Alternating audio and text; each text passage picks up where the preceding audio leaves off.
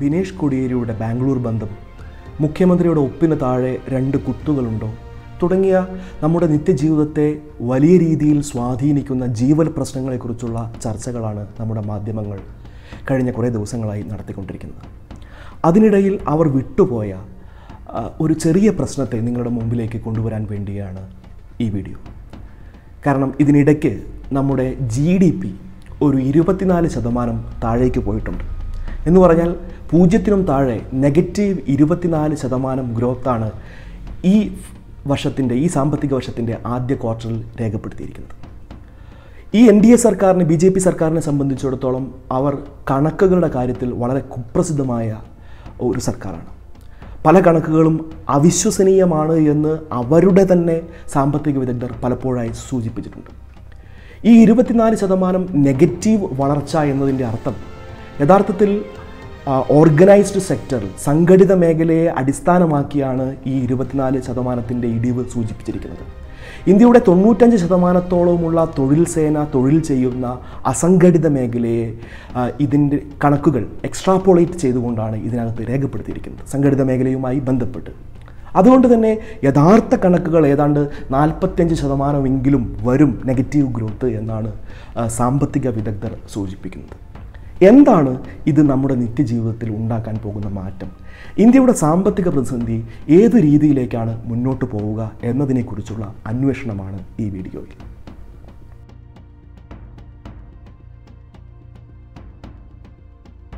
ഇന്ത്യയുടെ ധനകാര്യ വകുപ്പ് മന്ത്രി നിർമ്മല സീതാരാമൻ കഴിഞ്ഞ ദിവസം അഭിപ്രായപ്പെട്ടത് കോവിഡ് എന്നത് ഒരു ദൈവത്തിന്റെ കളിയാണ് ആക്ട് ഓഫ് ഗോഡ് ആണ്.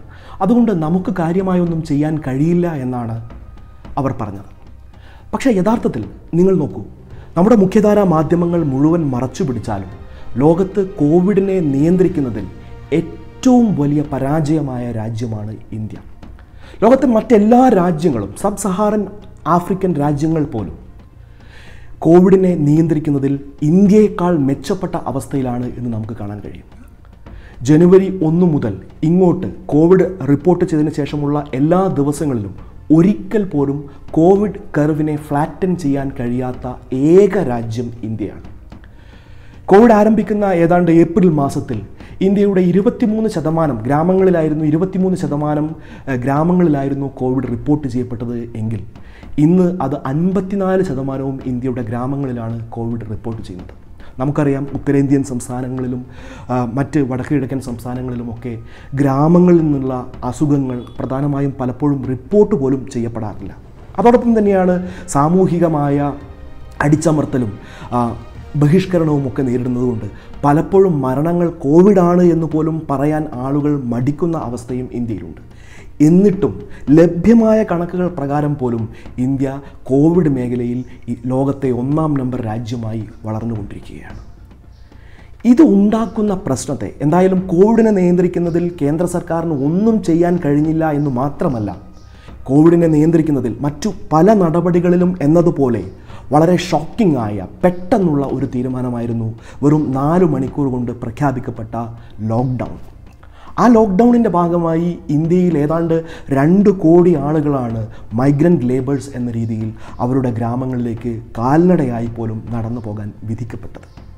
അത് ഇന്ത്യയുടെ സാമ്പത്തിക മേഖലയ്ക്കുണ്ടാക്കിയ ആഘാതത്തെക്കുറിച്ച് കൂടി ഇപ്പോൾ റിപ്പോർട്ടുകൾ പുറത്തു വന്നുകൊണ്ടിരിക്കുകയാണ്. യഥാർത്ഥത്തിൽ ഈ ഗവൺമെന്റ് ഒന്നും ചെയ്തിരുന്നില്ലെങ്കിൽ ഇതിനേക്കാൾ മെച്ചമാകുമായിരുന്നു അവസ്ഥ എന്നുപോലും ഈ രംഗത്തെ വിദഗ്ധർ ഇപ്പോൾ അഭിപ്രായപ്പെടാൻ തുടങ്ങിയിട്ടുണ്ട്. ഇന്ത്യയുടെ തൊണ്ണൂറ്റിയഞ്ച് ശതമാനം തൊഴിൽ സേനയും തൊഴിൽ ചെയ്യുന്നത് ഇന്ത്യയുടെ അസംഘടിത മേഖലയിലാണ്. ആ അസംഘടിത മേഖലയിൽ ഉണ്ടാകുന്ന കുറവുകൾ ഇന്ത്യയുടെ വിപണിയെ വാങ്ങൽ ശേഷിയെ വലിയ രീതിയിൽ ബാധിക്കും എന്നതിന്റെ കൂടി തെളിവാണ് ഇപ്പോൾ ജി ഡി പിയിലുണ്ടായ കുറവ് കാണിക്കുന്നത്. നമുക്കറിയാം രണ്ടായിരത്തി പത്തൊമ്പതിലെ ഏപ്രിൽ ജൂൺ കാലയളവിനെ അപേക്ഷിച്ച് അഞ്ച് ലക്ഷത്തി മുപ്പത്തൊന്നായിരത്തി എണ്ണൂറ്റി മൂന്ന് കോടി രൂപയുടെ കുറവാണ് ഇന്ത്യയിലെ സ്വകാര്യ ഉപഭോഗത്തിൽ മാത്രം ഈ ക്വാർട്ടറിൽ ഉണ്ടായിരിക്കുന്നത്. പ്രൈവറ്റ് സെക്ടറിന്റെ സ്വകാര്യ മേഖലയുടെ ഇൻവെസ്റ്റ്മെന്റിൽ അഞ്ച് ലക്ഷത്തി മുപ്പത്തി മൂവായിരം കോടി രൂപയുടെ ഏതാണ്ട് അഞ്ച് ലക്ഷത്തി മുപ്പത്തി മൂവായിരം കോടി രൂപയുടെ കുറവാണ് കഴിഞ്ഞ ഈ വർഷത്തെ ക്വാർട്ടറിനെ അപേക്ഷിച്ച് ഈ വർഷം ഉണ്ടായിരിക്കുന്നത്. എങ്ങനെയാണ് ഒരു കോവിഡ് പാൻഡമിക് പോലുള്ള ഒരു അവസ്ഥയിൽ സാമ്പത്തിക മേഖല പൂർണമായും നിശ്ചലാവസ്ഥയിലാകുന്ന ഒരവസ്ഥയിൽ അതിനെ നേരിടുക എന്നത് ഇടതുപക്ഷ എക്കണോമിക്സ് ഒന്നും നടപ്പിലാക്കേണ്ട കാര്യമില്ല. മറിച്ച് ബൂർഷ്വ എക്കണോമിക്സ് മുതലാളിത്ത സാമ്പത്തിക ശാസ്ത്രം തന്നെ മുന്നോട്ട് വെക്കുന്ന മാർഗങ്ങൾ അതിനെ നേരിടാനുണ്ട്. അത് നടപ്പിലാക്കാനാണ് ഇന്ത്യയിലെ സാമ്പത്തിക വിദഗ്ധരും ഈ രംഗത്തെ ഉത്കണ്ഠാകുലരായ മനുഷ്യരും ഗവൺമെന്റിനോട് ആവശ്യപ്പെടുന്നത്. അതുപോലും ചെയ്യാൻ ഈ ഗവൺമെന്റ് തയ്യാറാകുന്നില്ല എന്നതാണ് വസ്തുത. എല്ലാ രാജ്യങ്ങളും വികസിത അവികസിത ഭേദമന്യേ എല്ലാ രാജ്യങ്ങളും കോവിഡിനെ നേരിടാൻ ഇപ്പോൾ ചെയ്യുന്നത് ജനങ്ങളുടെ വാങ്ങൽ ശേഷിയിൽ വർധനമുണ്ടാക്കുക എന്നതാണ്.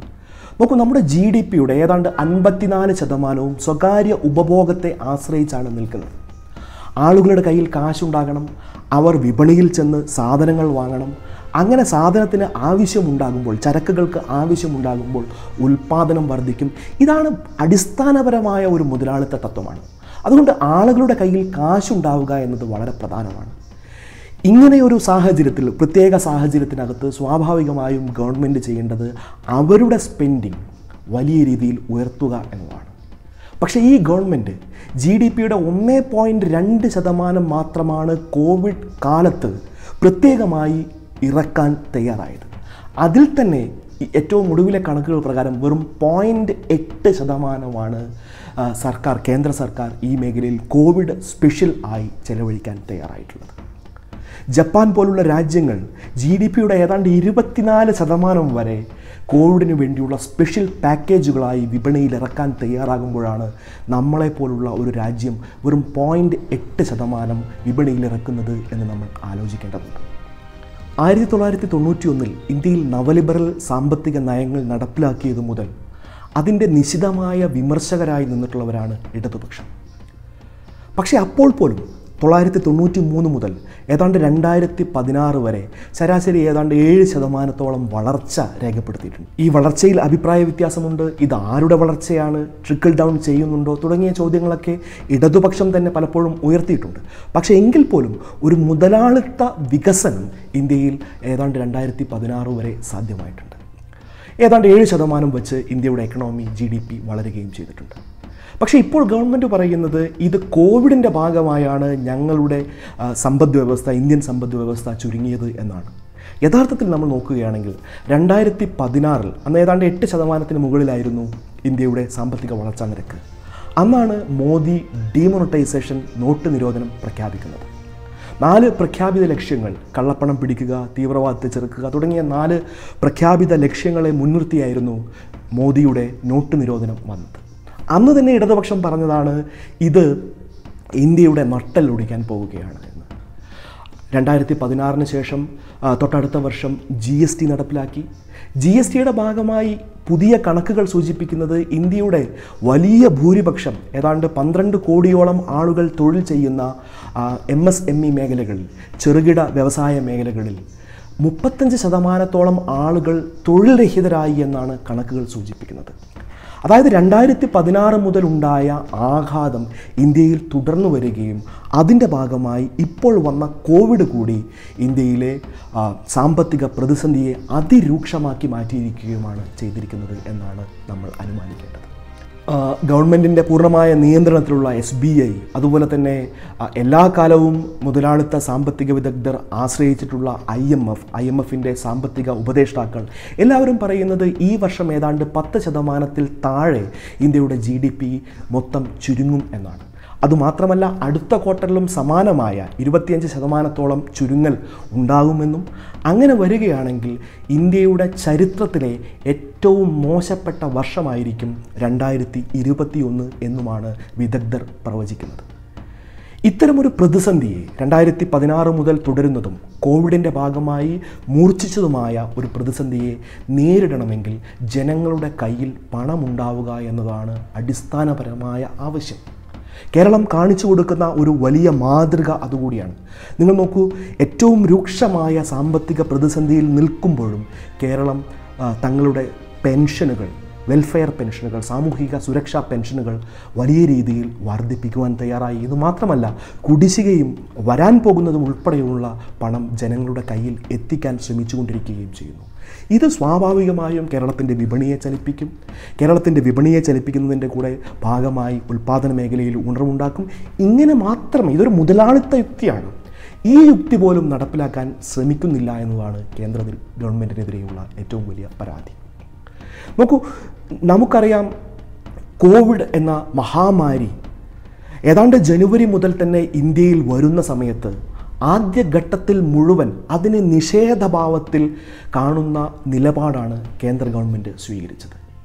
കോവിഡ് മഹാമാരി ഇന്ത്യയിലേക്ക് വരുന്ന സമയത്ത് ട്രംപിനെ അഹമ്മദാബാദിൽ കൊണ്ടുപോയി സ്വീകരിക്കാനും രാജ്യം കാണിക്കാനുമായിരുന്നു പ്രധാനമന്ത്രി വലിയ ആവേശം കാണിച്ചത്. അതിനുശേഷം രണ്ടേ രണ്ട് നടപടികൾ മാത്രമാണ് കോവിഡിനെ നേരിടാൻ വേണ്ടി കേന്ദ്ര ഗവൺമെന്റ് മുന്നോട്ട് വെച്ചത്.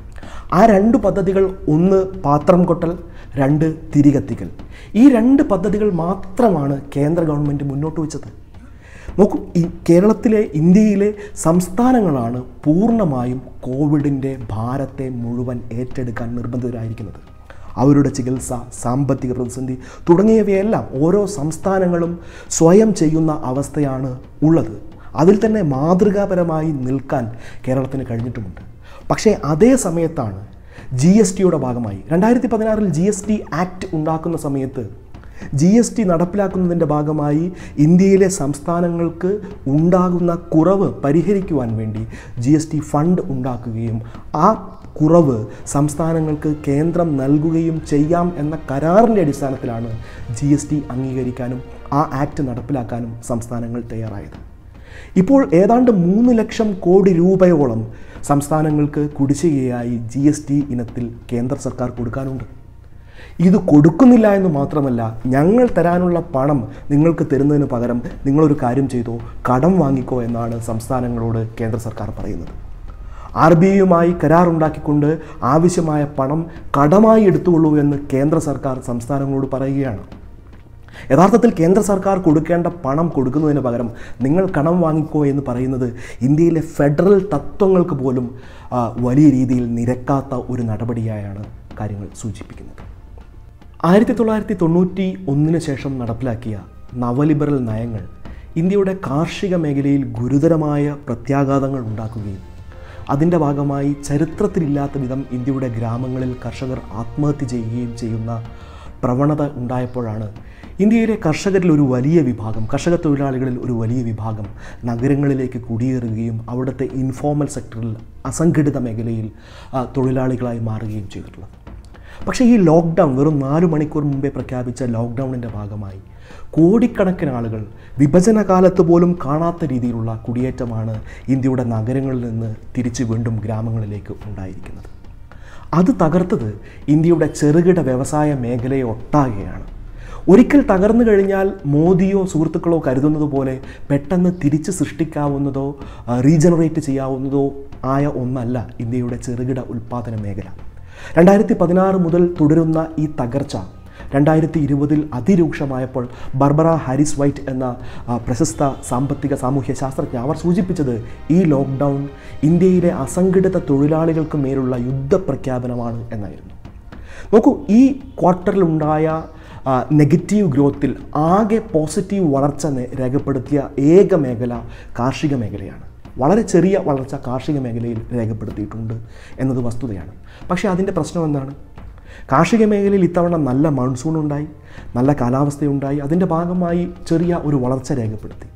പക്ഷേ കാർഷിക മേഖലയിൽ ഉണ്ടാക്കപ്പെട്ട ഉൽപ്പന്നങ്ങൾ നഗരങ്ങളിലേക്ക് എത്തുകയും അത് ഉപഭോക്താക്കൾ വാങ്ങുകയും ചെയ്യുമ്പോൾ മാത്രമാണ് കാർഷിക മേഖലയ്ക്ക് നിലനിൽക്കാൻ കഴിയുക. പക്ഷേ നഗരങ്ങളിൽ അതിരൂക്ഷമായ പ്രതിസന്ധി നിലനിൽക്കുമ്പോൾ സ്വാഭാവികമായും ഉപഭോഗം കുറയും. ഉപഭോഗം കുറഞ്ഞാൽ ഈ ഉൽപ്പന്നങ്ങൾ കാർഷിക മേഖലയിൽ ഉണ്ടാക്കിയ ഉൽപ്പന്നങ്ങൾ കെട്ടിക്കിടക്കുന്ന അവസ്ഥയുണ്ടാകും. അത് അതുകൊണ്ട് കാർഷിക മേഖലയിൽ ഉണ്ടായ ചെറിയ വളർച്ച പോലും ഗുണകരമായ ഒന്നായി ഇവിടെ ഭവിക്കുമെന്ന് നമുക്ക് പ്രതീക്ഷിക്കാൻ ഒരു നിവൃത്തിയുമില്ല എന്നതാണ് വസ്തുത. ഈ ദുരിതകാലത്തും ആരും മെച്ചപ്പെട്ടില്ല എന്ന് മാത്രം നമുക്ക് പറയാൻ കഴിയില്ല. മെച്ചമുണ്ടാക്കിയ വളരെ കുറഞ്ഞ ആളുകളുണ്ട്. അതിലൊന്നാമൻ മുകേഷ് അംബാനിയാണ്. മുകേഷ് അംബാനി അദ്ദേഹത്തിന്റെ ആകെ സമ്പാദ്യത്തിന്റെ ഏതാണ്ട് നാലിലൊന്നും ഈ കഴിഞ്ഞ ഏഴെട്ട് മാസത്തിനിടയിലാണ് സമ്പാദിച്ചു കൂട്ടിയത്. ഇപ്പോൾ അദ്ദേഹം ലോകത്തെ നാലാമത്തെ ശതകോടീശ്വരനായി മാറിയിട്ടുണ്ട്. അതിനിടയിലാണ് മോദിയുടെ സ്വന്തം വ്യവസായിയായ ഗൗതം അദാനി തിരുവനന്തപുരം എയർപോർട്ടിന് പുറമെ മഹാരാഷ്ട്രയിലെ ബോംബെ എയർപോർട്ട് ഇന്ത്യയിലെ ഏറ്റവും തിരക്കേറിയ എയർപോർട്ടുകളിലൊന്നായ ബോംബെ എയർപോർട്ടിന്റെയും എഴുപത്തിയഞ്ച് ശതമാനം ഓഹരികൾ ചുളുവിന് വാങ്ങിയെടുത്തത്. ഇങ്ങനെ ചങ്ങാത്ത മുതലാളികൾക്ക് സിങ്കിടി മുതലാളികൾക്ക് ഇന്ത്യയിൽ നല്ല കാലം ഉണ്ടാകുന്നു എന്നതും കൂടി ഇതിനിടയിൽ ചേർത്ത് വായിക്കേണ്ടതാണ് തൊണ്ണൂറ്റൊമ്പത് പോയിന്റ് ഒൻപത് ശതമാനം ആളുകളും വലിയ രൂക്ഷമായ പ്രതിസന്ധിയിലൂടെ പോകുമ്പോഴും മോദിയുടെ സ്വന്തം ചങ്ങാത്ത മുതലാളിമാർക്ക് നല്ല കാലം നൽകാൻ കഴിയുന്നു എന്നതാണ് ഈ ക്രോണിക് ക്യാപിറ്റലിസത്തിന്റെ ഏറ്റവും പ്രധാനപ്പെട്ട കാര്യങ്ങളിലൊന്ന് നിങ്ങൾ നോക്കൂ മോദിക്കൊപ്പം സാധാരണഗതിയിൽ ഏത് മുതലാളിത്ത സാമൂഹിക വ്യവസ്ഥയിലും കൂടെ നിൽക്കുമായിരുന്ന മുതലാളിത്ത സാമ്പത്തിക വിദഗ്ധർ പോലും അദ്ദേഹത്തിനൊപ്പം ഉണ്ട് എന്ന് പറയാൻ കഴിയുന്നില്ല. കൗശിക് ബസുവിനെ പോലെ ആ, രഘുറാം രാജനെ പോലെയുള്ള മുൻനിര മുതലാളിത്ത സാമ്പത്തിക വിദഗ്ധർ പോലും അദ്ദേഹത്തിനെതിരെ രൂക്ഷമായ വിമർശനമാണ് ഉന്നയിക്കുന്നത്. മോദിയും സംഘവും അദ്ദേഹത്തിന്റെ ഏറ്റവും താഴെയുള്ള വാട്സപ്പ് ഗ്രൂപ്പിലെ കേശവൻ മാമന്മാർ വരെ ഇപ്പോൾ നിരന്തരമായി പറഞ്ഞുകൊണ്ടിരിക്കുന്ന ഒരു കാര്യം കോവിഡ് കാലം കഴിയുന്നതോടുകൂടി എല്ലാം നേരെയാകും വീണ്ടും ഇന്ത്യ മഹാശക്തിയായി ടൈഗറായി വളരാൻ പോകും എന്നുമാണ്. ഇതൊരു വലിയ വസ്തുതാപരമായ പ്രശ്നമുണ്ട്. ഒന്നാമത്തെ കാര്യം ഇന്ത്യയിലെ സ്മോൾ സ്കെയിൽ ചെറുകിട ഉൽപ്പാദന മേഖല ഒരിക്കൽ തകർന്നു കഴിഞ്ഞാൽ പിന്നെ ഒരു സുപ്രഭാതത്തിൽ കോവിഡ് മാറുന്നതോടെ വാക്സിൻ കണ്ടുപിടിക്കുന്നതോടെ വീണ്ടും വളർത്തിക്കൊണ്ടുവരാൻ കഴിയുന്ന ഒന്നല്ല എന്നതാണ് ഏറ്റവും പ്രധാനപ്പെട്ട വസ്തുത. രണ്ട് മോദി ഇപ്പോൾ മുതലാളിത്ത വളർച്ചയ്ക്ക് അനുഗുണമായ നിലപാടുകൾ പോലും എടുക്കാൻ തയ്യാറാകുന്നില്ല എന്നതാണ് ഏറ്റവും പ്രധാനപ്പെട്ട കാര്യം. പകരം ചെയ്യുന്നത് ക്രോണിക് ക്യാപിറ്റലിസത്തിന്റെ സിങ്കിടി മുതലാളിത്തത്തിന്റെ തനിക്ക് ചുറ്റും നിൽക്കുന്ന കുറച്ച് വ്യവസായികൾക്ക് വേണ്ടി മാത്രമുള്ള നിലപാടുകളുമായാണ് മുന്നോട്ട് പോകുന്നത്. ഇത് അടിസ്ഥാനപരമായ മുതലാളിത്ത തത്വങ്ങൾക്ക് പോലും എതിരായി നിൽക്കുന്ന ഒന്നായാണ് ഇന്ത്യയിൽ വർക്ക് ചെയ്തുകൊണ്ടിരിക്കുന്നത്. ഏറ്റവും ഒടുവിലായി പ്രധാനമായി നാം കരുതുന്നത് സാധാരണഗതിയിൽ നവലിബറൽ സാമ്പത്തിക നയങ്ങളുടെ ഭാഗമായി ആഗോളവൽക്കരണത്തിന്റെ ഭാഗമായി നാം പ്രതീക്ഷിക്കുന്ന ഒരു പ്രധാനപ്പെട്ട കാര്യം എഫ് ഡി ഐ വിദേശ മൂലധന നിക്ഷേപം ഇന്ത്യയിൽ വലിയ രീതിയിൽ വരും. നമ്മുടെ സാമ്പത്തിക പ്രതിസന്ധിയെ വലിയ രീതിയിൽ കരകയറാൻ സഹായിക്കും എന്നതാണ്. കൗശിക് ബസുവിനെ പോലുള്ള മുതലാളിത്ത സാമ്പത്തിക വിദഗ്ധർ പോലും ചൂണ്ടിക്കാണിക്കുന്ന ഒരു പ്രധാനപ്പെട്ട കാര്യം. രണ്ടായിരത്തി പതിനാറിലെ നോട്ട് നിരോധനത്തെയും ജി എസ് ടിയെയും അതിനുശേഷമുള്ള ഈ കോവിഡിനെ നേരിടുന്നതിലുള്ള പരാജയവും ലോകമെമ്പാടുമുള്ള മുതലാളിത്ത ശക്തികളെ സംബന്ധിച്ചിടത്തോളം ഇന്ത്യയിലുള്ള ട്രസ്റ്റ് വിശ്വാസം. ഇത് മുതലാളിത്തത്തിൽ ഇൻവെസ്റ്റ് ചെയ്യാൻ ആരും ഇന്ത്യയിലേക്ക് ഇൻവെസ്റ്റ് ചെയ്യാൻ വരുന്നത് ചാരിറ്റിയുടെ ഭാഗമായല്ല മറിച്ച് ലാഭത്തിന്റെ കണ്ണുകളോടുകൂടി തന്നെയാണ്. സ്വാഭാവികമായും ഇന്ത്യയിൽ വരണമെങ്കിൽ ഇന്ത്യയിലെ ഗവൺമെന്റ് അവർക്ക് വ്യവസായം നടത്താനും ലാഭം സൃഷ്ടിക്കാനുമുള്ള അന്തരീക്ഷം ഒരുക്കുമെന്ന പ്രതീക്ഷ വ്യവസായങ്ങൾക്ക് വിദേശ വ്യവസായങ്ങൾക്കുള്ളപ്പോൾ മാത്രമാണ് ഇന്ത്യയിൽ നിക്ഷേപം നടത്താൻ വിദേശ മൂലധനം തയ്യാറാവുക.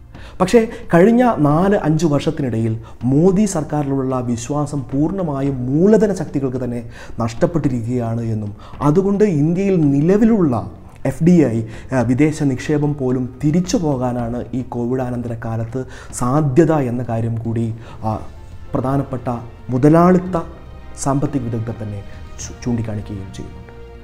ഇത്തരമൊരവസ്ഥയിൽ കാര്യങ്ങൾ അതിരൂക്ഷമാവുകയും രണ്ടായിരത്തി ഇരുപത്തി ഒന്ന് ഒരുപക്ഷെ ഇന്ത്യയുടെ ചരിത്രത്തിൽ നൂറ് വർഷം മുമ്പ് നടന്നതിന് സമാനമാകുന്ന രീതിയിൽ ഒരു വലിയ മഹാമാന്ദ്യത്തിലേക്ക് നീങ്ങാനുള്ള വലിയ സാധ്യതയുണ്ട്. ചരിത്രത്തിൽ നിന്ന് നാം പഠിക്കുന്ന ഏറ്റവും പ്രധാനപ്പെട്ട പാഠങ്ങളിലൊന്ന് എല്ലാ മഹാമാന്ദ്യകാലവും തീവ്ര വലതുപക്ഷ പ്രസ്ഥാനങ്ങൾക്ക് ഫാഷിസ്റ്റ് പ്രസ്ഥാനങ്ങൾക്ക് അപരനെക്കുറിച്ചുള്ള കരുതലില്ലായ്മ കൂടുതലാകുന്ന ഒരു കാലത്തിന് സാധ്യത തെളിയിക്കുമെന്ന് തന്നെയാണ്. സിവിൽ വാറിലേക്ക് ആളുകൾ ഭക്ഷ്യപ്രതിസന്ധിയുടെ ഭാഗമായി ഭക്ഷ്യ കലാപങ്ങളിലേക്ക് ഒക്കെ പോകുന്ന സാധ്യത പോലും ഇന്ത്യയെ സംബന്ധിച്ചിടത്തോളം നമ്മൾ മുന്നിൽ കാണേണ്ടതുണ്ട് എന്ന് കോടിക്കണക്കിന് ടൺ ധാന്യങ്ങളാണ് ഇന്ത്യയുടെ വിവിധങ്ങളായ എഫ് സി ഐ ഗോഡൗണുകളിൽ കെട്ടിക്കിടക്കുന്നത്. എത്രയോ വർഷമായി ഇന്ത്യയിലെ ഇടതുപക്ഷം നിരന്തരമായി ആവശ്യപ്പെടുന്ന പ്രധാനപ്പെട്ട കാര്യങ്ങളിലൊന്നാണ് കെട്ടിക്കിടക്കുന്ന എഫ് സി ഐ ഗോഡൗണുകളിൽ കെട്ടിക്കിടക്കുന്ന ഭക്ഷ്യധാന്യം ഇന്ത്യയുടെ ഗ്രാമങ്ങളിലേക്ക് എത്തിക്കുവാൻ സർക്കാർ തയ്യാറാകണം എന്ന കാര്യം. അതിനുപോലും ഈ സർക്കാർ തയ്യാറാകുന്നില്ല എന്നതാണ് പ്രധാനപ്പെട്ട വസ്തുത. ഈ ലോക്ക്ഡൗൺ കാലത്ത് വളരെ പ്രധാനപ്പെട്ട ഒരു കാര്യമായി ഇന്ത്യയിലെ ഇടതുപക്ഷ സാമ്പത്തിക വിദഗ്ധരും രാഷ്ട്രീയ പ്രസ്ഥാനക്കാരും നിരന്തരമായി ആവശ്യപ്പെട്ട ഒരു കാര്യമാണ്.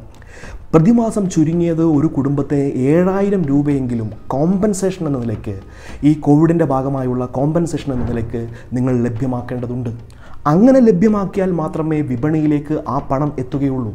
അങ്ങനെ വിപണിയിലേക്ക് ആ പണം എത്തിയാൽ മാത്രമേ അത് ഇന്ത്യയുടെ സമ്പദ് വ്യവസ്ഥയെ ചലിപ്പിക്കാൻ തയ്യാറാവൂ എന്ന കാര്യം. അതിനും ഈ സർക്കാർ തയ്യാറാവുന്നില്ല എന്നതാണ് വസ്തുത. ഇന്ത്യയുടെ ഗ്രാമങ്ങളിൽ നമുക്കറിയാം രണ്ടായിരത്തി എട്ടിലാണ് സമാനമായ ഒരു മുതലാളിത്ത പ്രതിസന്ധി ലോകമെമ്പാടും ഉണ്ടാകുന്നത്. അന്ന് ആ സാമ്പത്തിക പ്രതിസന്ധിയെ ഒരു വിധത്തിൽ പിടിച്ചു നിൽക്കാൻ ഇന്ത്യയ്ക്ക് കഴിഞ്ഞതിൽ ഏറ്റവും പ്രധാനപ്പെട്ട പങ്ക് വഹിച്ചത് ഇന്ത്യയിൽ അന്ന് രണ്ടായിരത്തി നാലിൽ അധികാരത്തിൽ വന്ന യു പി എ ഒന്നാം ഗവൺമെന്റിന്റെ ഭാഗമായി ഉണ്ടായിരുന്ന ഇടതുപക്ഷം പുറത്തുനിന്ന് പിന്തുണ നൽകിയ ഇടതുപക്ഷം ആവശ്യപ്പെട്ടതനുസരിച്ച് ഇന്ത്യയിൽ നടപ്പിലാക്കിയ ദേശീയ ഗ്രാമീണ തൊഴിലുറപ്പ് പദ്ധതിയാണ്. അന്ന് ആ തൊഴിലുറപ്പ് പദ്ധതിയുടെ ഭാഗമായി ഇന്ത്യയിലെ ഗ്രാമങ്ങളിലേക്ക് അവിടെ പണിയെടുക്കുന്ന മനുഷ്യരുടെ കൈകളിലേക്ക് പണം എത്തുകയും അത് വിപണിയെ താങ്ങി നിർത്തുകയും ചെയ്യുന്ന അവസ്ഥയാണ് അന്നുണ്ടായത്. നമ്മൾ നിരന്തരമായി ആവശ്യപ്പെടുന്ന പ്രധാനപ്പെട്ട കാര്യങ്ങളിലൊന്നാണ് ചുരുങ്ങിയത് ഇരുന്നൂറ് ദിവസമെങ്കിലുമായി ഗ്രാമീണ തൊഴിലുറപ്പ് പദ്ധതി ദിനങ്ങൾ വർദ്ധിപ്പിക്കാൻ സർക്കാർ തയ്യാറാകണം. ഇപ്പോൾ തന്നെ ഏതാണ്ട് നൂറ് ദിവസം ഇന്ത്യയിലെ ഗ്രാമങ്ങളിലെ തൊഴിലുറപ്പ് പദ്ധതി ദിനങ്ങൾ കഴിയാറായിരിക്കുന്നു അത് കഴിഞ്ഞാൽ പിന്നെ ഇന്ത്യയിലെ ഗ്രാമങ്ങളിലെ ജനങ്ങൾ എന്തു ചെയ്യും എന്നതാണ് പ്രധാനപ്പെട്ട ചോദ്യമായി നിൽക്കുന്നത്. അതോടൊപ്പം തന്നെ ഉന്നയിക്കപ്പെടുന്ന മറ്റൊരു ആവശ്യമാണ് ഗ്രാമീണ തൊഴിലുറപ്പ് പദ്ധതിയുടെ മാതൃകയിൽ നഗരങ്ങളിലേക്കും. ഇപ്പോൾ നഗരങ്ങളിലാണ് വലിയ പ്രതിസന്ധി നിലനിൽക്കുന്നത്. നഗരങ്ങളിലേക്കും തൊഴിലുറപ്പ് പദ്ധതി നടപ്പിലാക്കാൻ കേന്ദ്ര സർക്കാർ തയ്യാറാവുക എന്ന ആവശ്യം.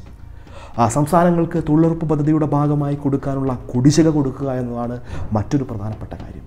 ഇതിനൊന്നും കേന്ദ്ര സർക്കാർ തയ്യാറാകുന്നില്ല എന്ന് മാത്രമല്ല തങ്ങളുടെ ഉത്തരവാദിത്വത്തിൽ നിന്ന് കൈ കഴുകി വളരെ തന്ത്രപൂർവം ഇത് ആക്ട് ഓഫ് ഗോഡ് ആണ് എന്ന് പറഞ്ഞ് ദൈവത്തിന്റെ തടയിൽ വെച്ച് കെട്ടാനാണ് കേന്ദ്ര സർക്കാർ തയ്യാറാവുന്നത്.